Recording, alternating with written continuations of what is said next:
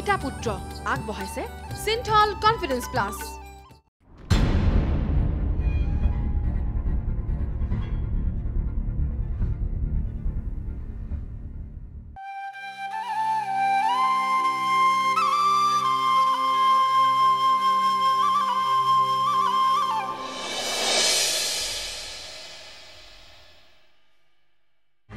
তুমি এটা কথা ভালকে শুনি লোৱা। ইয়াত এই সমাৰোহ হ'ব নোৱাৰে। এণ্ড দিছ ইজ ফাইনেল শুনক আপোনাৰ বাকী পে'মেণ্ট বেছিকৈ পাব। খালি ৰাজদীপ বৰুৱাৰ খাচ মানুহ হৈ থাকক। ৰাজদীপ বৰুৱাৰ খাচ মানুহ হৈ থাকিলে পে'মেণ্ট বেছিকৈ পাম। নিশ্চয় পাব।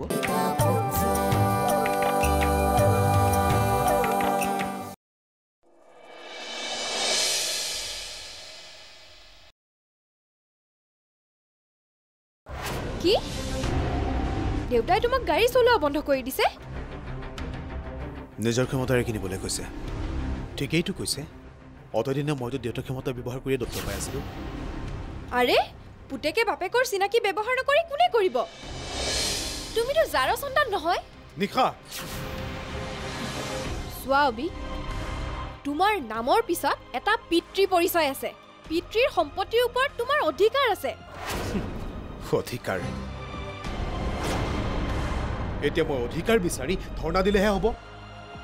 বহুত হৈছে এইবিলাক। আৰু তোমাকো কৈছো এইবিলাক ৰাজনীতি ফাজনীতি বন্ধ কৰা। ন' নেভাৰ মানুহে সদায় আগুৱাই যাব বিচাৰে পিছলে চাব নিবিচাৰে।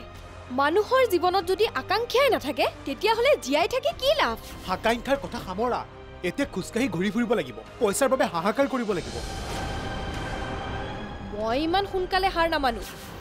দৰকাৰ হ'লে মই আইনৰ আশ্ৰয় ল'ম। কাৰণ এই ঘৰখনৰ সম্পত্তিৰ ওপৰত মোৰো অধিকাৰ আছে। কিহৰ অধিকাৰ? সম্পত্তিৰ অধিকাৰ? প্ৰথমে মৰমৰ অধিকাৰ দাবী কৰা। বাকীবোৰ আপোনা আপুনি পাবা। মইনো কি ভুল কৰিছো বুজি পোৱা নাই। এওঁ ৰাজনৈতিক ভৱিষ্যতৰ কাৰণে অকণমান কষ্টহে কৰিছো। সেইটোৱে মোৰ ভুল নেকি? ভুল শুদ্ধ মই নাজানো। কিন্তু এটা কথা জানো তুমি এইখন ঘৰলৈ অহাৰ আগতে তাৰ ভালৰ বাবে বা ভৱিষ্যতৰ বাবে দেউতাকে চিন্তা নকৰাকৈ থকা নাছিল। তুমি এইখন ঘৰলৈ অহা কেইমাহ হৈছে? সি সৰুতে যি বিচাৰিছে সকলো আশা পূৰণ কৰিছে দেউতাকে। আৰু তুমি এইবোৰ চিন্তা কৰিলে ঘৰখনত সংঘাত হ'বই। তুমি চিন্তা কৰিবলৈ বহুত সময় পাবা। গতিকে তুমি চিন্তা নকৰাই ভাল। আমি যেতিয়াই পৃথিৱী এৰি গুচি যাম তেতিয়া যিমান চিন্তা কৰা কৰি থাকিবা। হ'ব?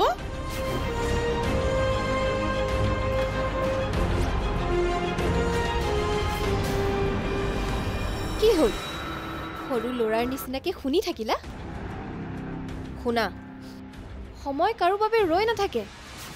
আৰু মই সময় আহিব আহিব বুলি ৰৈ থকা বিধৰ ছোৱালীও নহয়।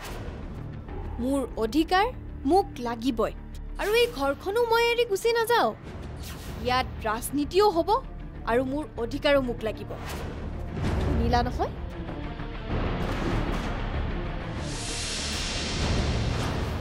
সকলোবিলাক মই বিচৰাৰ ধৰণে হৈছে বুজিছা? আপুনি পাহৰি গৈছে নেকি? আপোনাৰ ছোৱালী সেইখন ঘৰৰ বোৱাৰী বুলি? তাত যদি কিবা এটা অঘটন হয় তাই ভুগিব নালাগিব জানো? তাইৰ একো নহয় বুজিছা? তাইৰ একো নহয়। তাইৰ এটা উজ্জ্বল ভৱিষ্যতৰ সৃষ্টি হৈছে। তুমি চাই থাকা। আপুনি এইবোৰ কি কৈছে মই একো বুজিব পৰা নাই। হেৰা ৰাজনীতিৰ কথা যদি তুমি সহজতে বুজিবই পাৰা তেনেহ'লে আমিনো ৰাজনীতি কৰাৰ কি অৰ্থ থাকিলেহে এইবোৰ কথা দিশাই গম পায়নে?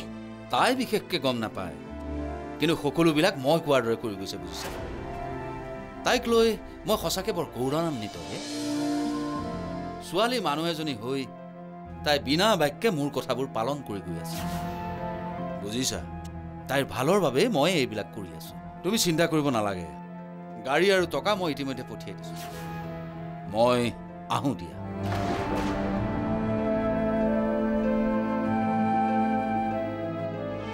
আচলতে মই এই ৰাজনীতিলৈ আহিবই নালাগিছিলে।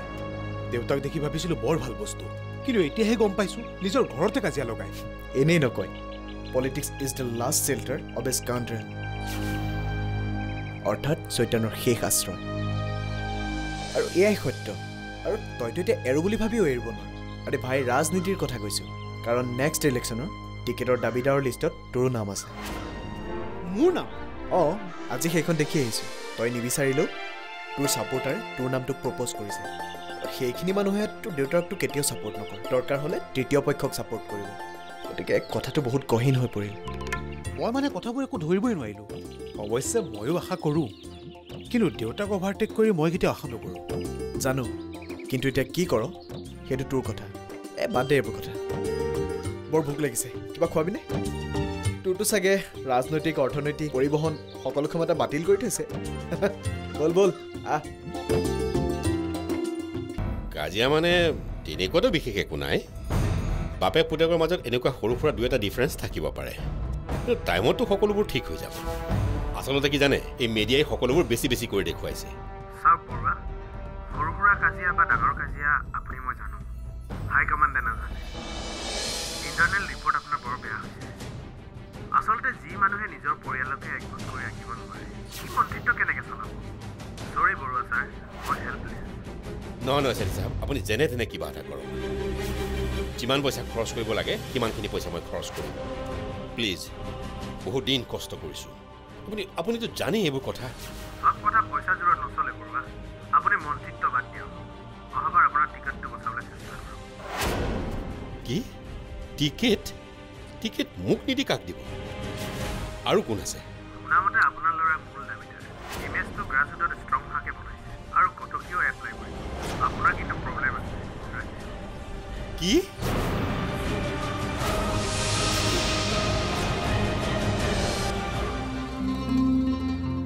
নিশা বাহিৰত দুখন গাড়ী আছে। কাৰ গাড়ী? ইমান আচৰিত হৈছা যে। দেউতাই গাড়ী নিদিয়ে বুলি আমি গাড়ীত নুঠাকে থাকিম নেকি? মইতো ইমান দুখীয়া ঘৰৰ ছোৱালী নহয়। তেওঁ এম এল এ মোৰ দেউতাও এম এল এ। বাবা গাড়ী কেইখন কাৰ? তোমাৰ আৰু মোৰ। দেউতাই দিছে আৰু লগতে ড্ৰাইভাৰ এজনো পঠাই দিছে। কি? তোমাৰ দেউতাই পঠাইছে? কি হ'ল? উচপ খাই উঠিলা যে? তোমাৰ দেউতাই পঠোৱা গাড়ীত মই উঠিম বুলি কেনেকৈ ভাবিলা? ইয়াত ভাবিব লগা কথানো কি আছে? দেউতাক মই প্ৰব্লেমটো ক'লো দেউতাই গাড়ী পঠিয়াই দিলে। দেউতাৰ মাত্ৰ এটাই কথা যে আমি কেতিয়াও ব্ৰেক মাৰিব নালাগে। অভি এনেকুৱা চান্স আমি বাৰে বাৰে নাপাওঁ। দেউতাৰনো কি লোকচান হ'ব? মই একো বুজিবই পৰা নাই। নিজৰ পুতেকৰ ক্ষেত্ৰত ইমান ইনজাষ্টিচ কৰা বাপেক মই প্ৰথম দেখিছোঁ। চোৱা নিশা মই তোমাক আকৌ এবাৰ কৈছোঁ মোক এইবিলাকৰ পৰা ৰেহাই দিয়া। মোৰ আৰু একেবাৰে ইচ্ছা নোহোৱা হৈছে। কি? তেনেহ'লে তুমি মোক হেৰুৱাব লাগিব। নিশা? চইচ তোমাৰ হাতত। হয় দেউতা যি ইমান স্বাৰ্থপৰ যে নিজৰ পুতেকক আগবাঢ়ি যোৱাত বাধা দিছে। আৰু আনফালে মই যিয়ে তোমাৰ উন্নতিত দিন ৰাতি কষ্ট কৰিছোঁ। মই ধেমালি কৰা নাই। মোক উত্তৰ লাগে আৰু এতিয়াই। নোৱাৰো মই। মই কাকো এৰিব নোৱাৰো। না দেউতাক এৰিব পাৰোঁ না তোমাক এৰিব পাৰোঁ। মোক কিন্তু হেৰুৱাবা সেইটো ফাইনেল। মোক কোনো ধৰণৰ কথা বুজাবলৈ চেষ্টা নকৰিবা। নিশা প্লিজ তুমি বুজিবলৈ চেষ্টা কৰা। কোনো প্লিজ নাই। তুমি আগবাঢ়ি যাবই লাগিব। আৰু গাড়ীটো আহিলেই তুমি পইচাৰ কথা একেবাৰে চিন্তা নকৰিবা। এজনে তোমাক তোমাৰ অধিকাৰৰ পৰা যিমান বঞ্চিত কৰিছে আনজনে তোমাক যিমান লাগে সিমানেই খৰচ কৰিব বিচাৰিছে। আৰু দুয়োজনকে তুমি দেউতা বুলিয়ে মাতা। আচ্ছা শুনা মই ৰেডি হৈ লওঁ হা?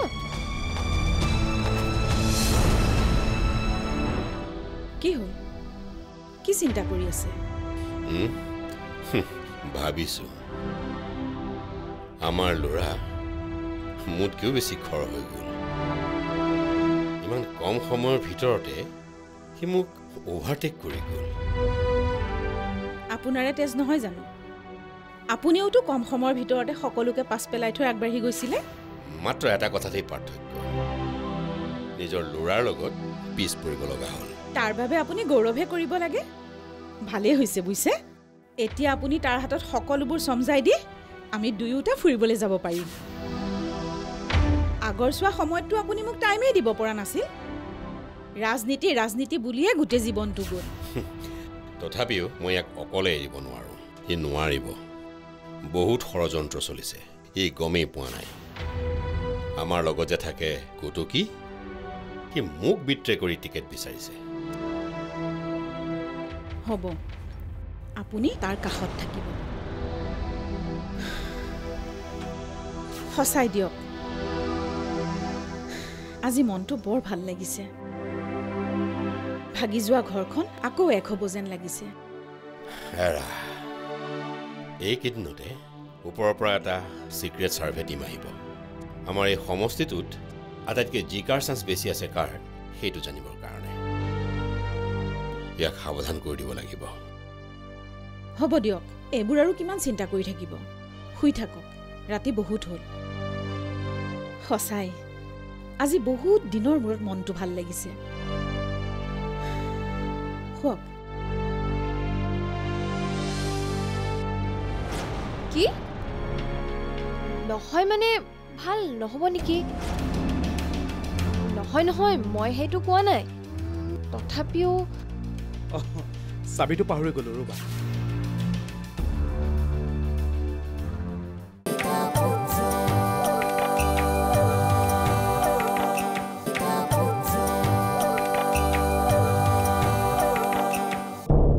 ছাকচেছ হ'লো বুলি তুমি কেনেকৈ ভাবিলা বাপেক পুতেক হঠাতে এক হ'ল তাত কেনেকৈ ছাকচেছ হ'ল? মানে ছাৰ আপুনিতো ৰাজদীপ বৰুৱাৰ পলিটিকেল কেৰিয়াৰ ধ্বংস হোৱাটো বিচাৰিছিল আৰু সেইটোতো হ'লেই আৰু sir Abinash Baruah M L A হোৱা মানেতো আপুনিয়েই হোৱা। এইখিনিতেই তোমাৰ আৰু মোৰ চিন্তাৰ পাৰ্থক্য বুজিছা? তুমি যিমান ভাবা মই তাতকৈ বেছিকৈ ভাবোঁ। একো বুজা নাই ছাৰ। তুমি ইমিডিয়েট ৰাজদীপ বৰুৱা সমষ্টিৰ মানুহবিলাকক কণ্টেক্ট কৰা। যিমান টকা লাগে মই খৰচ কৰিম। হ'ব ছাৰ। কিন্তু লগ কৰি কি কৰিম? ৰাজদীপ বৰুৱাইতো পুতেক অবিনাশ বৰুৱাকেই সমৰ্থন দিব।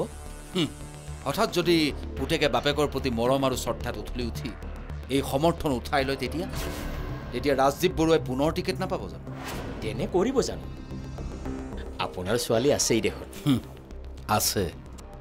আৰু সেইবাবেই কৈছোঁ মুঠতে আমি তৃতীয় শক্তি ঠিক কৰিব লাগিব। ৰাজদীপ বৰুৱাক এনেকৈ এৰি দিব নোৱাৰোঁ অ' দিশা টিকেট পালে মই জিকিম নে বাৰু? আৰে কিয় নিজিকিবা? দেখা নাছিলা? দেউতাৰ লগত নাথাকোতে আমাৰ লগত কিমান মানুহ আছিল? এতিয়াতো লগত দেউতাও আছে। তোমালৈ মোৰ হিংসাই লাগিছে জানা? এম এল এ হোৱাৰ পিছততো তোমাৰ মোৰ কাৰণে সময়ে নাথাকিব। কিয় তেনেকৈ কৈছা? তুমিতো চৌব্বিছ ঘণ্টা মোৰ লগতে থাকিবা। আৰু যিহেতু তোমাৰ পলিটিক্সতো ইণ্টাৰেষ্ট আছে দেউতালেহে মোৰ বেয়া লাগিছে। মোৰ টিকেটটোৰ বাবে ইমান কষ্ট কৰিছে। হাই কামাণ্ডকো লগ ধৰিছেগৈ তাকেই। একো খেলি মেলি নহ'লেই হ'ল আৰু।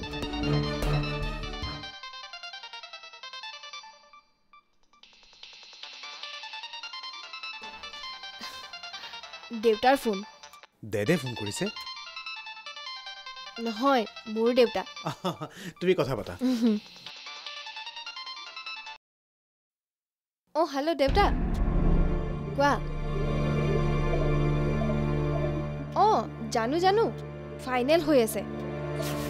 কোৱাচোন। দেউতাও বৰ কষ্ট কৰিছে। কি? নহয় মানে ভাল নহ'ব নেকি? নহয় নহয় মই সেইটো কোৱা নাই। তথাপিও চাবিটো পাহৰি গ'লো ৰ'বা।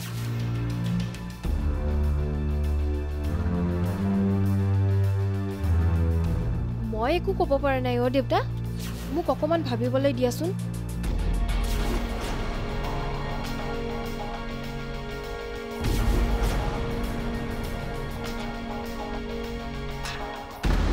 অবিয়ে কথাটো সহজভাৱে ল'ব জানো? নাই নাই।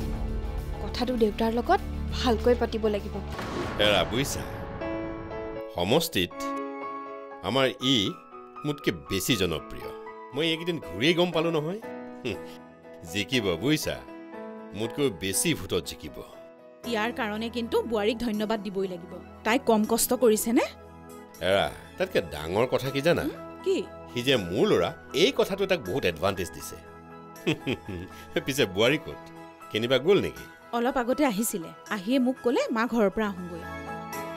ঘৰলৈ কাৰোবাৰ গা বেয়া নেকি? গা বেয়া বুলিতো মোক কোৱা নাই।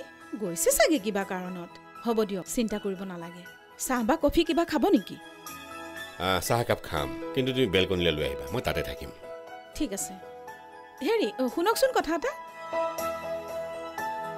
বোৱাৰীয়ে কিন্তু অভিৰ কথা খুব চিন্তা কৰে। এৰা।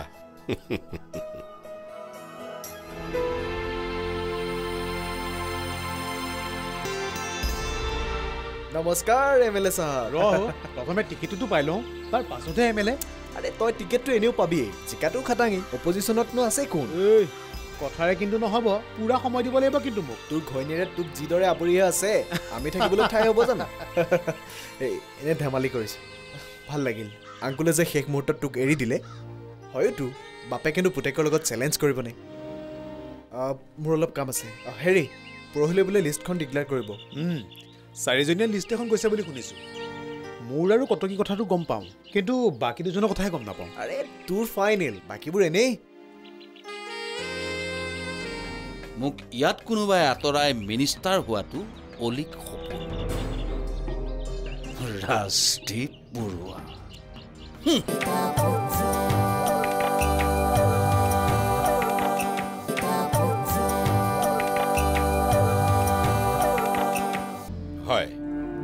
ঠিক তেনেকেই কৰিব। হয়। মই কোৱাৰ দৰে কৰিলেই হৈ যাব। অঁ বাকীখিনি পিছত লগ পাই কথা পাতি ল'ম। ঠিক আছে। অঁ বাই। অবি? ইমান চিন্তা কৰি থাকিব নালাগে। তুমি টিকট পোৱাটো প্ৰায় খাটাং। আৰু আজি সন্ধিয়া দিল্লীৰ পৰা টিকটটো ডিক্লেয়াৰ কৰিব। এতিয়া আমাৰ মেইন কথা হ'ল আমি জিকিব লাগিব। মানুহবোৰে হ'ব হ'ব বুলি ক'লেও কাৰোবাৰ ওপৰত এৰি দিলে নহ'ব। তুমি এতিয়াৰ পৰা সাৱধান হ'ব লাগিব। ডেড মানুহবোৰৰ মাজত যিটো উৎসাহ দেখি আছোঁ মোৰ বোধেৰে ইমানো কষ্ট নহ'ব নেকি? ইয়াৰ ৰাজনীতি বুজিছা? ইয়াক বুজি পোৱাটো ইমান সহজ নহয়। শেষ মুহূৰ্তত কোনে কেতিয়া ধৰ্ম জাত পাতৰ ৰাজনীতি খেলি দিয়ে তুমি গমেই নাপাবা। অৱশ্যে মই আছোঁ। গতিকে ইমান চিন্তা কৰিব নালাগে। অঁ আৰু এটা কথা গাড়ী কিন্তু বহুকেইখন লাগিব। এওঁৰ দেউতাকে কেইখনমান পঠিয়াই দিম বুলি কৈছে। তেওঁ বৰ চিন্তা কৰিছে। খবৰদাৰ কাৰো সহায় ল'ব নালাগে। নিজৰ বাহু বলত জিকি আহিব লাগিব। আৰু মই যেতিয়া জীয়াই আছো দিছাৰ দেউতাকৰ সহায় লোৱাৰ কোনো প্ৰয়োজন নাই। আৰু শুনা জিকি অহাৰ পাছত মিনিষ্টাৰশ্বিপৰ কাৰণে লাগিব লাগিব। গতিকে তাৰ বাবে প্ৰয়োজনীয় সকলোবোৰ কাগজ পত্ৰ ৰেডি কৰা। দেৰি নকৰিবা। মই ৰেডি কৰিছোঁ ঠিক আছে।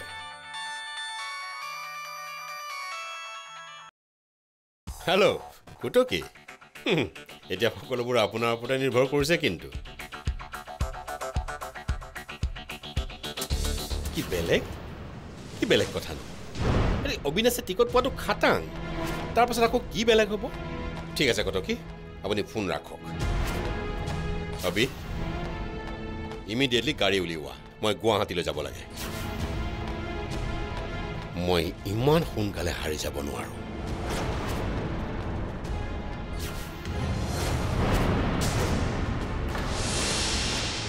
তুমি দেখিছো সকলোবোৰ খবৰেই লৈ আছা। তাৰ বাবেইতো মোক ৰাখিছে ছাৰ। ঠিকেই।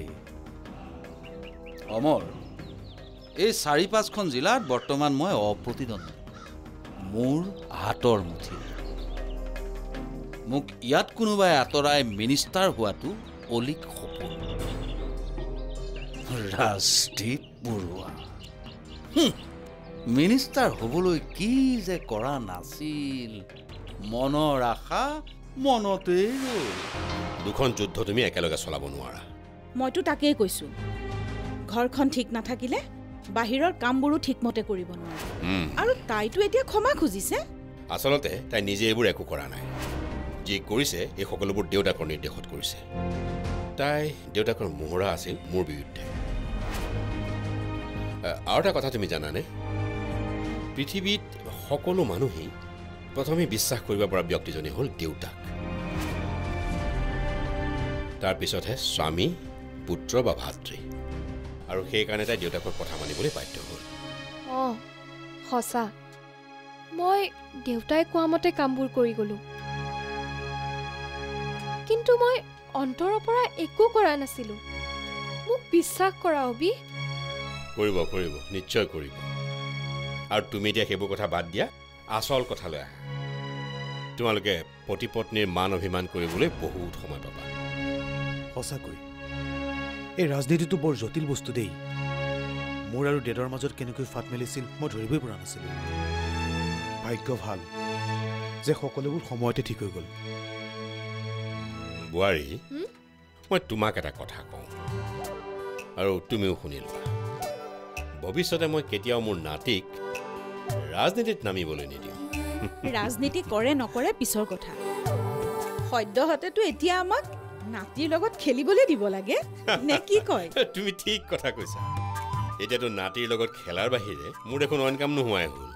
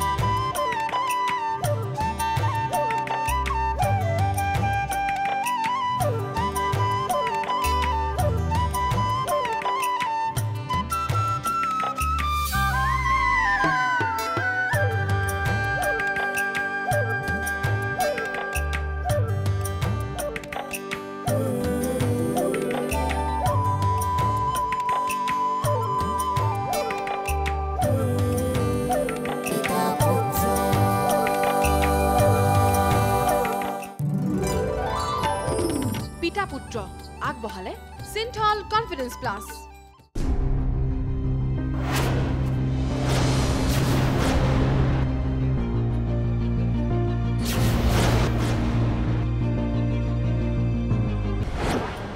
পিতা পুত্ৰ অহা সপ্তাহৰ কাহিনী সন্ধান। উপভোগ কৰক সোমবাৰৰ পৰা শনিবাৰলৈ নিশা আঠ বজাত। আপোনাৰ একমাত্ৰ প্ৰিয় চেনেল ৰঙত।